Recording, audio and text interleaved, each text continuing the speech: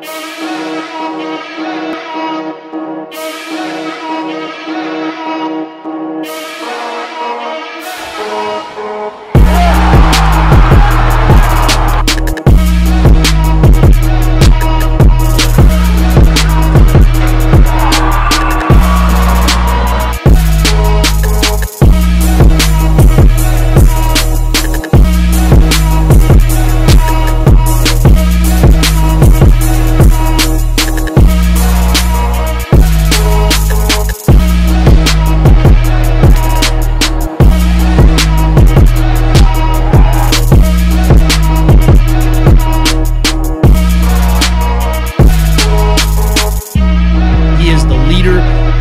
two team in the state.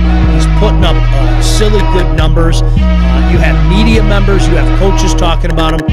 Absolutely, positively, we put him on this list.